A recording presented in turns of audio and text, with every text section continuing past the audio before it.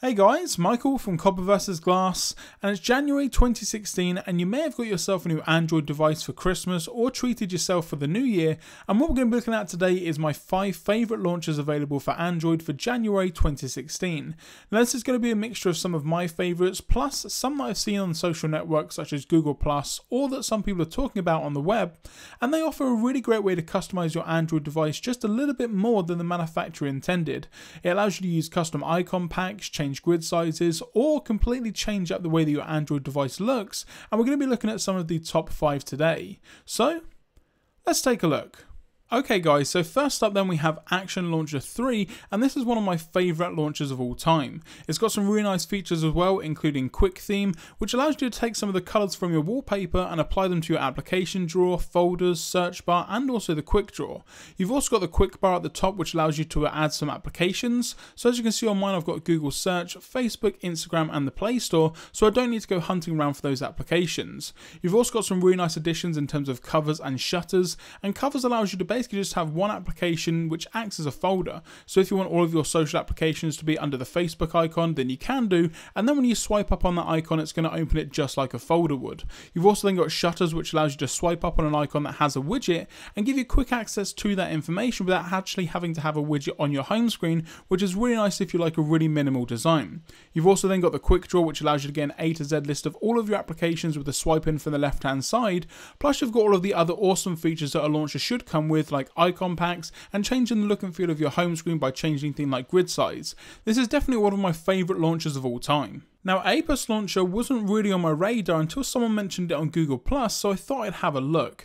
Now, it does bring with it a really unique look and feel to the actual launcher itself, and also has some cool features to it as well, such as Apus Boost, which is basically a button that allows you to help clear RAM on your Android device to help speed it up ever so slightly. You've also got the search function, which also search the web, applications, games, and everything that you really want to look for.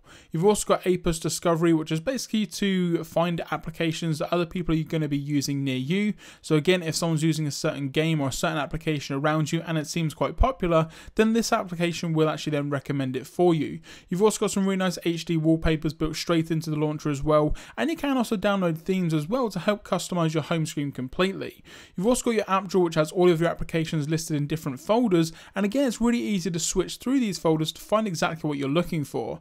Now you do have some bloatware in my opinion that you don't necessarily need, so you've got an app market, which allows you to find hot and interesting applications that you may want to have a look at. You've also got the Apus Toolkit, which is basically things like widgets, flashlight, calculator, notepad, and more, which again you don't necessarily need because they're already going to be built into your Android device. You've also got the Power Plus, which extends your battery life by monitoring things like battery usage, closing down applications, and things like that in the background. Now, Apus Launcher isn't necessarily the best launcher out there, and it does come with a lot of bloatware, but if you are looking to discover new applications and new things for your Android device, then this is probably the best launcher to use. Arrow Launcher is a launcher made by Microsoft and it is actually quite good. Now some of the key features that you've got here is your applications are all grouped and they're actually grouped in a way that is based on your usage. So you don't have to go hunting around for those applications that you don't use on a regular basis as all of your most used applications will be front and center. You've also got a people hub as well which helps you easily find contacts and things so you can call or message them. And again you've got some different pages that you can get access to as well including reminders and also recent which quickly gets you back to recent photos photos, file downloads, or even any applications that you've been using. Now it's got some really nice things in terms of widgets as well. So again, it's compatible with all of your favorite widgets and it does have some built in as well. And it's also got a customizable dock, which also has some quick settings within it as well. You've also got Bing and custom wallpapers, which basically allows you to get custom wallpapers every single day direct from Bing and it will automatically download them in the background. You've also got support for third party icon packs, which is great if you do want to use a third party pack, then you've got the ability to do so. It's also a really lightweight application, so again, it's not really going to be that RAM intensive. And again, using the application, I've not really found any troubles or any hiccups or anything, and it does work quite well on my Note 3. Now, again, it is built by Microsoft, so it is going to try and push some of those Microsoft applications on you. However, if you don't want to use them, then you don't need to. And it's just a really nice alternative to something like the Google Now launcher, as it does have some really cool built in features, but it doesn't really have any of the bloatware of some other launchers out there. Next up then is the Google Now launcher and this is the simplest launcher on this list. However that's not necessarily a bad thing as it's how Google intended it to be on Android. Now you've got a swipe in from the right hand side to get quick access to Google Now which again is really nice if you are heavily into Google Now and you use it on a regular basis. You've got quick access to search from every home screen that you've got and you've also got the OK Google hot word detection so again if you want to send a message to someone, make a phone call or just in general search for something then you've got the ability to do so just by using using your voice. You've got an A to Z list of your applications as well in a really nice vertically scrolling app drawer taken straight from Android Marshmallow. And again, you've got some app suggestions which will be at the top of that list in terms of frequently used applications or just in general applications that you use on a regular basis. So again, Google puts them front and center so they're really easy for you to use. And that's actually kind of pretty much it with the Google Now launcher. Like I say, it's a really bare bones launcher, but it is how Google intended Android to be. So if you want a really quick and really fluid experience, experience, then you definitely can't go wrong with the Google Now launcher.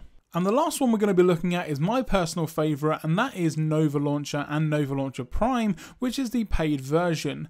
Now, this is a great launcher and it has tons of different features to it. Now, you can use it for a variety of different things. I personally use it to get a really nice stock Android look and feel on my Android device, but some people use it to completely change the look of their Android device so it doesn't even look like Android anymore. It's that diverse and you can do that many things with it. You can see here from within the settings, you've got so many different things that you can change change. You can customize the app drawer, you can change widgets, backup and restore. You can change the way that the dock works. You can change loads of different things about it.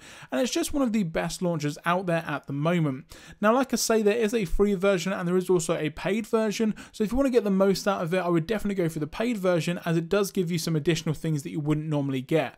Now, some of the great things about Nova Launcher is changing your icon packs and it's really easy to do so. You can see that it's just in the look and feel of these settings. You've also got subgrid positioning, which allows you to actually put widgets halfway through the grid on your desktop to get a really precise look and feel to how you want to have your widgets laid out.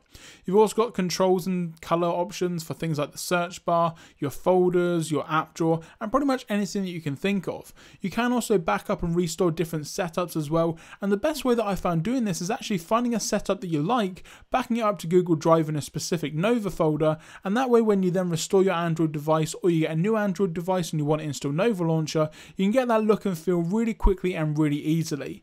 Now, as I mentioned, it does get updated on quite a regular basis, and there's also a really heavy Google Plus community around Nova Launcher as well. So if you want any tips, tricks, or if you're having any problems or anything, then that's probably the best place to get answers. Now, as I say, Nova Launcher is one of the launchers that I installed on any non-stock Android device as soon as I get it. But if I do have a stock Android device, I'm going to keep it stock. But the one thing that I don't like about the Google Now launcher on something like the Note 3 is it doesn't allow me to hide any applications, whereas Nova Launcher does while keeping that stock look and feel. And that is going to do it, guys. Now, as I mentioned, all of these launchers will be linked in the description down below. So if you want to download one for yourself and try it out, then all the links will be just in the description below. Now, if you guys have got any questions or comments about any of these launchers, be sure to leave it in the comments section down below or on Twitter at Copper vs Glass. If there's anything that you think I missed off this list or a launch that you want me to have a look at in more detail, then again, let me know in the comments section below. If you enjoyed this video, be sure to give it a thumbs up. If you want to get some more great content from Copper vs Glass, including Android customization, apps, and devices, be sure to hit that subscribe button. I'm Michael from Copper vs Glass. Thanks very much for watching, and I will catch you guys in the next video.